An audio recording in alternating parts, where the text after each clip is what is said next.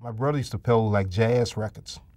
He worked for this like uh, news company or the distributor thing, and he used to he used to buy records from them and, and sell them to his friends. And so I used to always, you know, like steal his records and start listening to them. The Coltrane's, Miles, uh, uh, Coleman, and all these people like that. And uh, I just started listening to them. But the one single thing that kind of like changed my life forever was I can't remember the exact year. It was in the early 50s. My mother took me down on Beale Street to see a concert. And on that concert was Bobby Bland and B.B. King playing on a flatbed truck.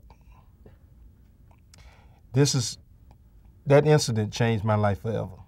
And this was, uh, little did I know, you know, I mean, this was like in the early 50s and it didn't really I, I, didn't really get involved in music until 62. But in the early 50s, that whole thing changed my life. And it just was in my brain. It's kind of like, you know, without saying it, this is something that, you know, you want to be involved with some kind of way, some kind of way in the music business. Whether you're working at a record store or something,